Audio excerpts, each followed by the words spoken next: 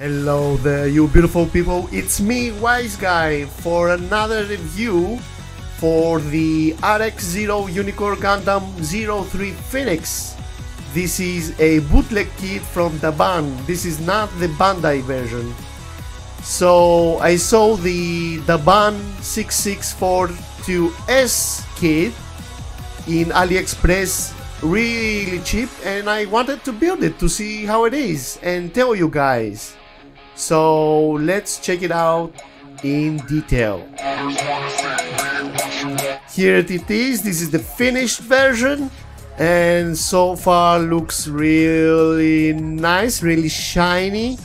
Uh, if you look closely you see a lot of faults, a lot of scratches, a lot of undergate problems and when I was building this kit I had a lot of fitting problems so I had to glue a lot of parts. That's the bad side of it. Let's check out some articulation. The feet move up and down. I tried move it uh, left and right but it came off. These, these are the fitting problems that I'm telling you there are a lot of them. You will going to need a lot of glue for this kit.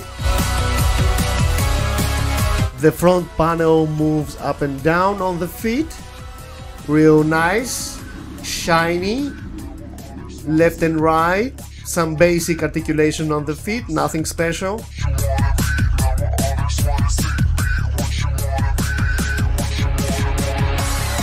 The back thruster opens and reveals uh, some uh, plastic fins some plastic blue fins there you have to constantly wipe out this kit because it's a real fingerprint magnet. I'm wearing gloves and I'm still smudging everywhere. So you have to wipe out constantly with some alcohol maybe if you have it.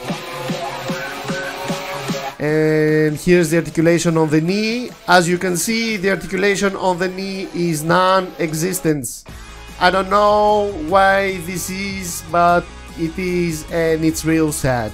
My disappointment is immeasurable, and my day is ruined. I think the plastic on the back of the legs prevents it from bending. These are design flaws, uh, I think.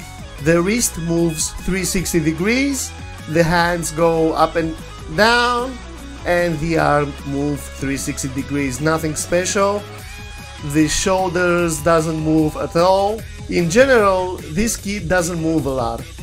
The head moves only left and right, no up and down movement. Real basic articulation there on the head. It can say no, but it can't say yes. The skirts move up and down. They are connected uh, with a ball uh, point. The back skirts also move freely. This is the only nice articulation you'll find. It looks real shiny, I will give it that, it looks nice so far. And these are the shields slash backpack. That uh, the tail there can move freely, it's connected through a wire so you can pose it however you like. Some nice articulation there, no complaints you can pose it however you like and the wire is strong. So let's check out the destroy mode. And here you have it the destroy mode it took me 20 minutes to transform it to destroy mode. It was really hard because the plastic quality is, is bad and the fitting issues are bad. This is the shield in destroy mode. It looks real nice. I had to glue these top parts to the shield because they were falling constantly. These fins, these blue fins move up and down. They look real nice and shiny. The fins on the upper part move up and down too. Looks real nice, I have to say.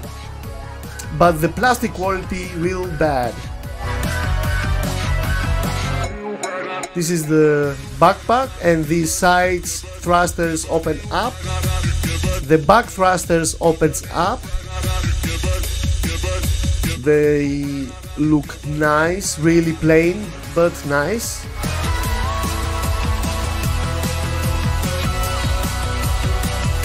I like the blue plastic on the kit. The blue plastic looks nice uh, in the destroy mode. You can see it through there, through the shoulders. It's uh, it's a nice transparent blue plastic.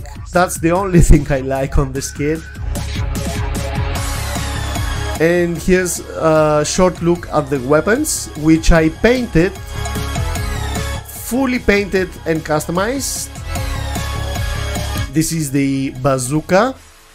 I painted the bazooka also and I gave it some red details. I applied some decals, some water slides, which looks nice. And here's how you attach the tail to the backpack, to the shield or backpack, call it what you want. I don't know what to call them. They have a name, I think, but uh, I forgot the name. Look how shiny it looks. But uh, although the shininess, you see up close that the plastic has a lot of scratches, a lot of small scratches, which is disappointing. The tail moves really nicely. I really like how it moves with the wire.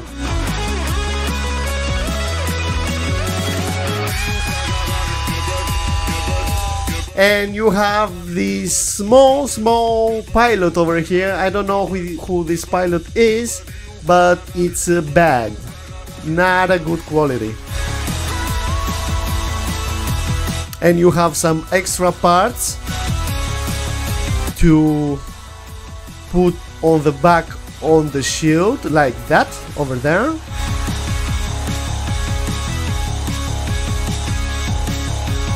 And these are all the extra parts.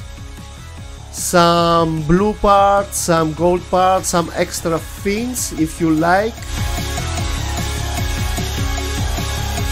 not a lot not a lot of extra parts but uh, some small different customiza customization options and here's the phoenix unicorn uh, fin which is connected to a real small and fragile ballpoint. Alright, let's check out the weapons. First off, you have the bazooka, which I really like the design of bazooka, that's why I decided to paint it silver metallic and matte gray and some metallic red. The barrel goes inside and out. I also applied some water slides, which look nice uh, you can see you can have you have a small scope there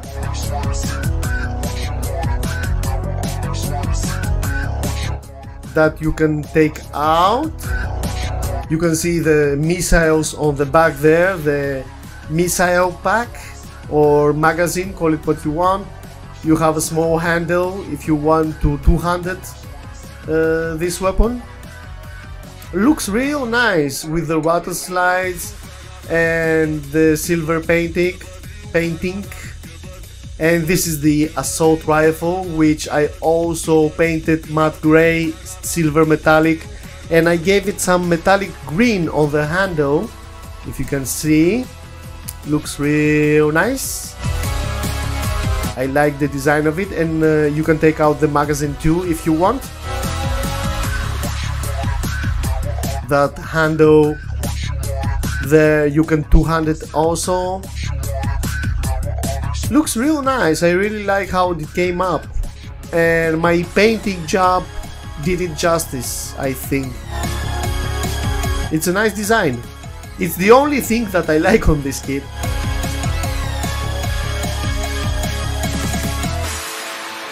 And here's are some extra parts that you will find. Uh, these are the magazine uh, plastic parts, and this is um, the additional helmet that you can wear. And look at that poor quality saber light thingies. These are bad plastic. I didn't use it. I throw it away. And these are some bad stickers that I didn't apply also because they are really really bad in quality. And here it is, the majestic destroy mode Unicorn Gundam Phoenix. Looks real nice, real majestic up far. So real shiny with the weapon. It took me a lot of time to pose it because it has a lot of uh, weight problems you can use the backpack only on a stand and the kit by the way doesn't come with a stand. I use the stand from the MGEX uh, Strike Freedom Gundam. So there you have it in full display with in the destroy mode. I found it cheap on AliExpress. That why that's why I bought it but don't do the same mistake. This is a really, really bad kit. Uh, real bad quality plastic, uh, scratches everywhere, real under undergate problem. You'll see a lot of small marks on the kit, on the plastic, which is disappointing. Uh, yes, it looks good from afar, but up close, it doesn't worth it. Don't waste your money if you want buy the Bandai version. The Bandai version is a thousand times better than this bootleg uh, version from Daban. Daban sometimes makes nice uh, uh, like the PG Unleashed, which I really liked, but this time this is a thumbs down kit. Don't waste your time. So thank you for watching. Uh, next week we have a Bandai Kid. So stay tuned. Like the video if you liked it and see you next time. Bye.